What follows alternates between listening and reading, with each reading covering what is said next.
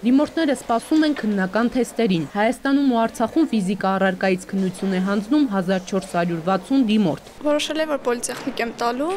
այդ պատճառով մաթեմատիկա ու ֆիզիկա եմ հանձնում։ Զսված եմ, ուղղակի շատ ցույց չեմ տալիս ու որ նորմալ գրեմ։ 189 քննական կենտրոնում դիմորդների լարվածությունը փորձում է մեղմել նախարարը։ Արայիկ Հարությունյանը շրջեց քննական սենյակներում, ծանոթացավ ընթացքին։ Մեր շրջանավարտները ավելի հանգիստ են, ոնց որ ավելի